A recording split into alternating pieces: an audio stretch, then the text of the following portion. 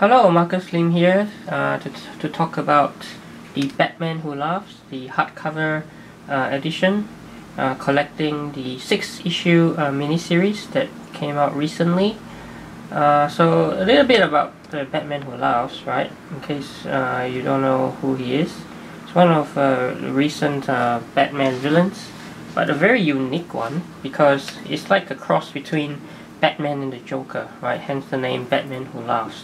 So imagine a Batman uh, who has no, whose I guess his moral code of ethics has been replaced with the Joker's brand of madness, and you get you know an idea of what kind of villain this is, right? Someone with no restraints, right? But yet still has the intellect of Batman. So that makes him a truly terrifying uh, villain, right? Just looking at him, right? Very terrifying. Um, so this collects the uh, recent six issue miniseries about the Batman Who Laughs.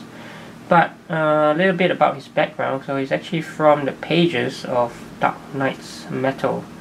Um, and so before getting to the book, let's have a look at a bit of uh, his background from the uh, Dark Nights Metal epic uh, event from uh, two years back. So you know this is the uh, six issue, six, yeah, six, six issue series collect uh, of the uh, metal uh, epic event, and I think he actually debuted in the second issue uh, at the very very last uh, page.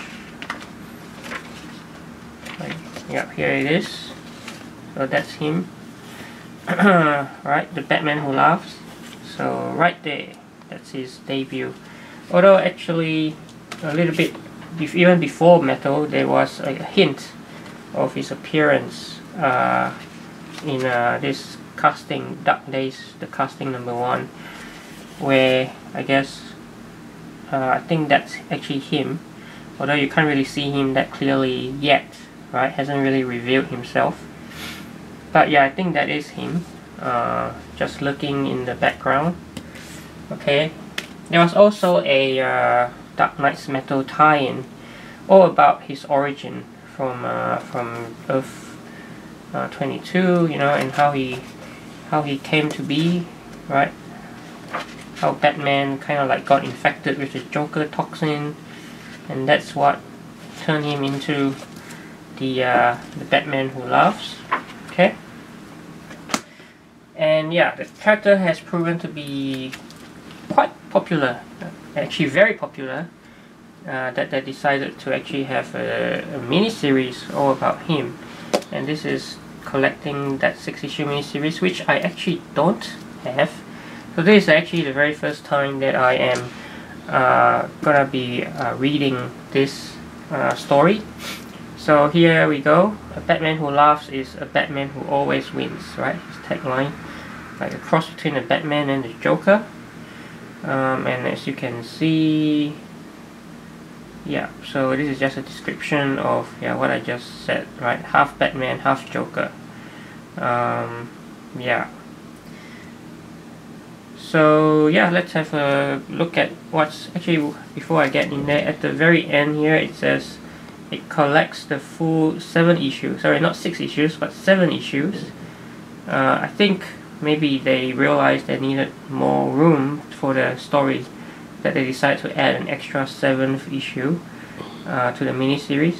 But this collection also has the one-shot special issue, The Batman Who Laughs the Grim Knight. I think that's like a companion piece to the miniseries, so that's uh, pretty cool. Uh, so I don't actually have any of these single issues, so I'm actually reading this for the first time. So let's have a look. And by the way, uh, this is by Scott Snyder and Jock. Uh, I think Scott Snyder was saying that Jock would be the perfect artist to depict the Batman Who Laughs, and so here we are. Uh, previously, they worked together in the, the acclaimed Batman uh, Black Mirror which I have in Absolute Edition.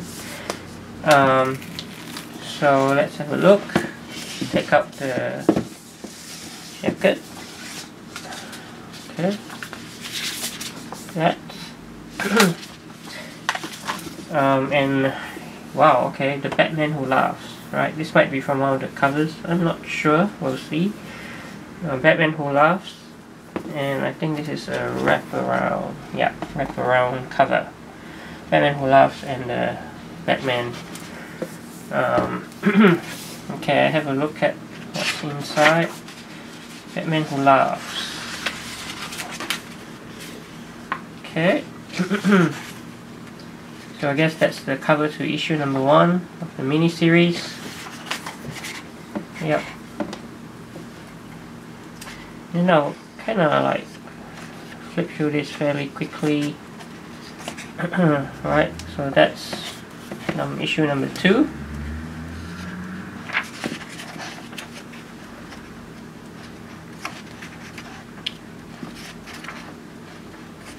Ah issue number three. So so this comes from uh, cover to issue three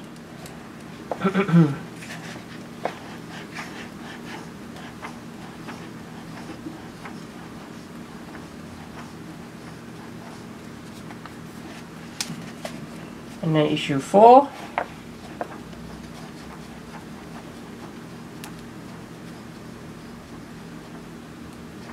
issue 5 actually no this is still issue 4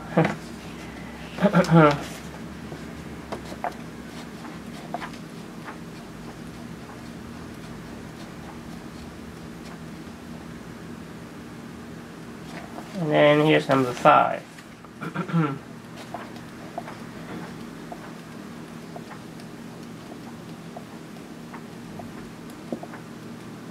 and number six. And I think we're getting to the end now. Number seven. Okay. So that's the last one yeah so I, I think in between uh, the one that I mistook for issue 4 was actually this one.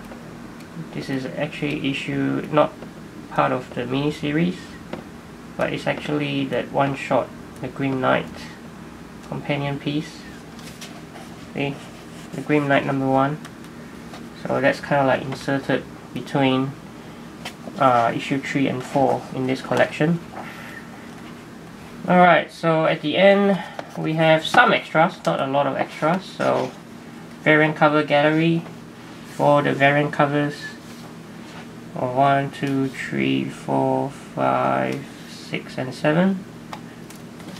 Oops. Yep, seven.